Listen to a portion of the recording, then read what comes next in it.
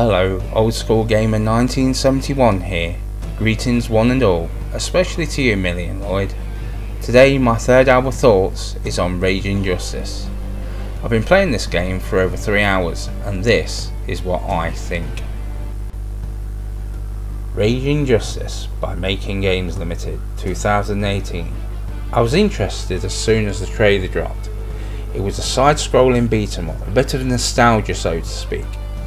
I used to spend hours and money in arcades as I've discussed many times on the channel. So having played it for a while, it is a really good retro side-scrolling beat 'em up. You have a choice of three characters. Rick is the hard-hitting police officer if he is a little slow. Nikki on the other hand is not too slow but she's also not as fast as Ashley. Nikki is also a police officer.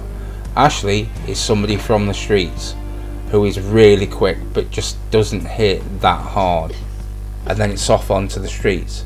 Before you start a level, you're shown a screen with different bonuses you can achieve for combos, score, arrests, etc. This adds to the gameplay, and to achieve them all is a real task sometimes. It's a normal affair button wise and control wise, where it is different though is the visuals. The visuals are outstanding for a game of this ilk. The art style is most definitely arcade, but it looks so very good. Having three people team up is also good and real fun. The story is generic. The mayor gets abducted, its combat is nothing new, and I don't think it will win over any new fans. But if you're after some side scrolling arcade fun, grab this some mates, some beers, and let the good times roll. So that about wraps it up. I hope you all have a good day and this has been helpful in any way. Like, subscribe and comment.